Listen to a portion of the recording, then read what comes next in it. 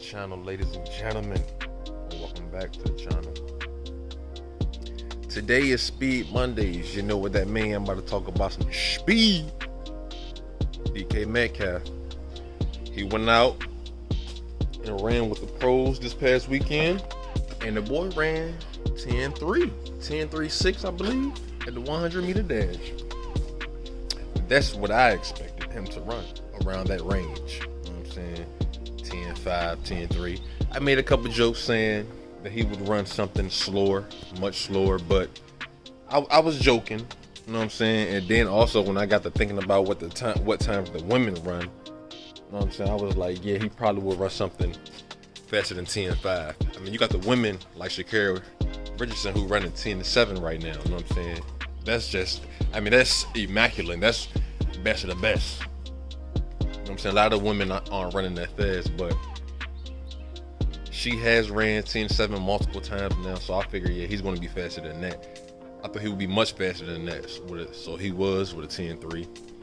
But what got me was when they posted the video, I was thinking that it was the final. So I was like, oh my, you know what I'm saying? Because the first place winner had he, he ran a 10-1. So I was like, wow. I mean, I have seen some slower times this year, so it kind of had me a little baffled. Like, and I was thinking that it would be like that because I've seen some slower time. DK ran 10-3-6. And um I was like, wow. I mean, even though that's still a nice little distance, I was just shocked at the time. You know what I'm saying? How close it was. Like, but turns out that was just a heat. You know I'm saying track guys don't run full speed in heats, that made even more sense because in the final, D- DK Metcalf didn't make the final. In the final, the slowest place, the last place guy ran a 10-1, and the fastest guy ran 9-9. DK would have gotten smoked badly. At first, I was like I said, I'm, I'm still impressed, but he, I mean, he he ran what the fastest guys in the NFL run. You know I'm saying if you look at the record of the fastest guys, the ones that are recorded, a lot of them run around 10 3, 10 2. I mean, you have some 10 5, blah, blah. But uh, I believe the fastest is like 10 flat, and that's like Jeff Demps, I believe. But most of them run 10 3, so it wasn't shocking. You know what I'm saying? Like I said, it was what was expected. But um, if he would have um if he would have made the final with a 10-3, he would have been smoked. He would have been like at my shed or something like that. I'm first place, he'd be like at my shed or something like that. But, but yeah, man, it was exciting to see. I like seeing them NFL players go out there, man. I like seeing them go out there and get it in and shoot their shot. There's nothing wrong with that. It's competition. That's what you're supposed to do. If you think you can, go out there and try. You know On another note, uh, Ato Boldon said if he was to lose 30 pounds, that he believed um, DK would have a better shot. He also said something about working on technique, which I agree. You know what I'm saying? Because his technique was not good. His technique for the start was good, but the finish, like the top end, last part of the race, wasn't good at all. So if he was to lose weight and better his technique, then he might be around the same place. You know what I'm saying? Maybe a little faster, maybe.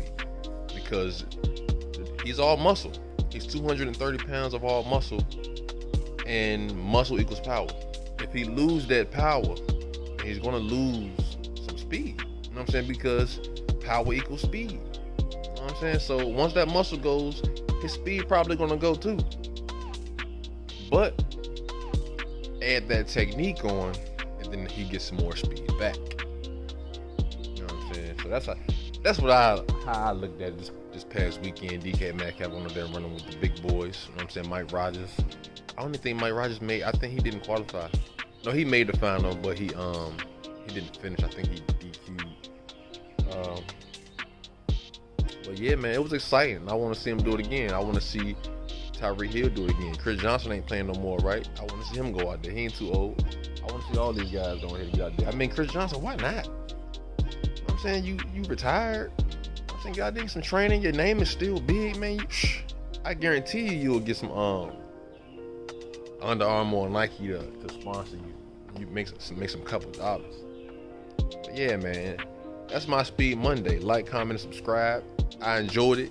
Do it again, DK. You know what I'm saying? Y'all, track boys, y'all know what time it is. Anytime the NFL guys come out there, do them dirty.